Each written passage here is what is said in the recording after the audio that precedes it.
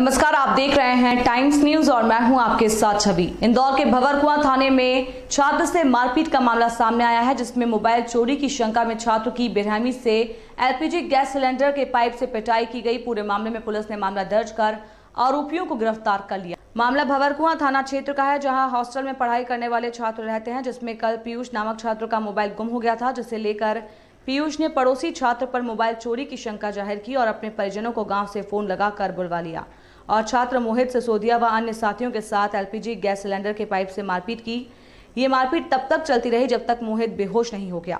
मोहित ने होश में आने के बाद पुलिस थाने पहुंचकर शिकायत दर्ज कराई। वहीं पुलिस ने पूरे मामले में एक नाबालिग सहित दो लोगों को गिरफ़्तार कर लिया है।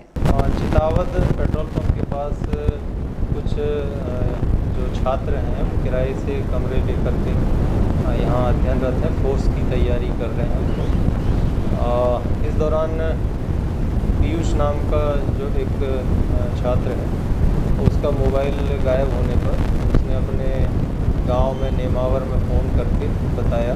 तो उसके गाँव से उसके कुछ रिलेटिव यहाँ उसके रूम पर आए और जब उनको शंका हुई कि पड़ोसी कुछ छात्रों ने मोबाइल शायद ले लिया है चोरी कर लिया है तो उन्होंने फरियादी मोहित से सो दिया और उसके जो साथी हैं, उनको बुला करके कमरे में बंद करके मारपीट की है। एलपीजी गैस सिलेंडर का जो पाइप है, उससे मारपीट की है।